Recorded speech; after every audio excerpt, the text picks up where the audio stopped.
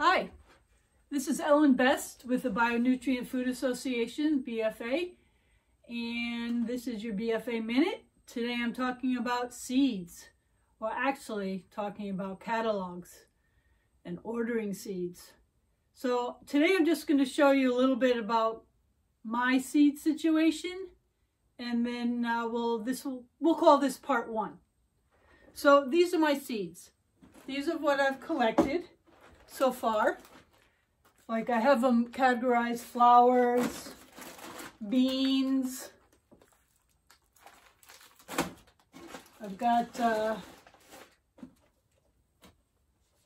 some amaranth in here, a whole bunch of beans, and then I've got a whole lot of uh, little packets of seeds that people have given me, gotten at seed swaps. And these are the babies. These are my catalogs.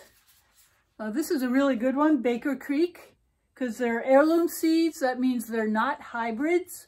They're not plants that are kind of a combination of plants. So if you save the seed, you don't know what you're getting if you plant it the following year.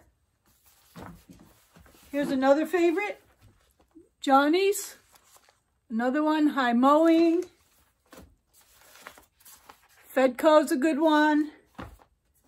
Seed Savers Exchange. And my chore, or my excitement actually these days, is going through catalogs and figuring out figuring out what I want to get. Um, already some of the seeds are, are sold out, so it's never too early. So find out where you can get those catalogs. You can go online. Again, Baker Creek, Johnny's, Fedco. Those are all good companies. And we'll see you for part two. Thanks.